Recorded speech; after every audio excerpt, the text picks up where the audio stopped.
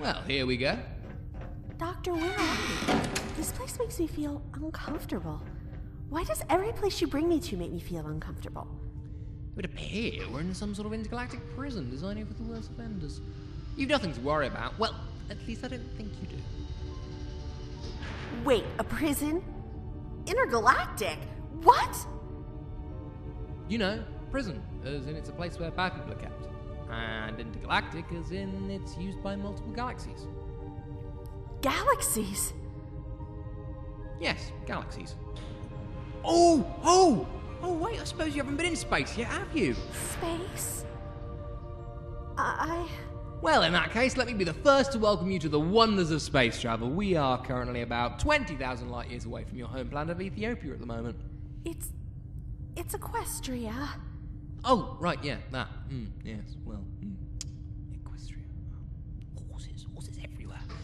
Uh, ah, security droid. Ah, maybe he can tell us what's going on. Uh, hello, I'm the doctor. Species, Time Lord. Crimes, 140,000 traffic violations. 198,895,385 late library returns. Two counts, planetary demolition. Sentence, 2 billion years. Ah, well. This isn't good. Hey, what's it doing? Species, Equus caballus. Six counts, disturbing the peace. One count, accessory to grand theft. One count, political assassination. Grand theft? Political assassination? My, my, naughty girl. No, no, no, it's not like that. It was the princess's pet, and I had to stop Nightmare Moon. Sentence, 50 years. Doctor? You will now have your higher functions removed. This is to ensure compliance. Please do not struggle. I think it's time to do some running. Uh, wouldn't you agree, Twilight? Yes, I think that's a perfect idea.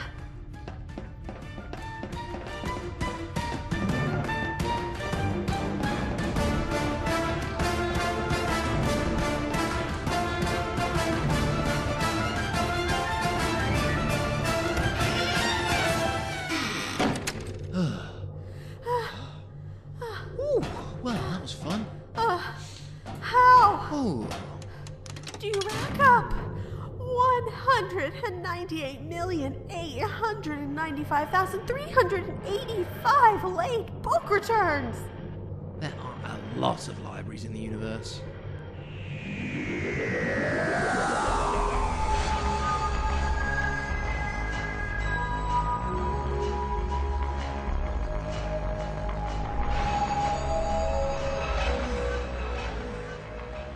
In Partners in Crime, Twilight Sparkle was played by Lauren Goodnight, the droid was played by QD Brony, and the Doctor was played by the Jam Jar.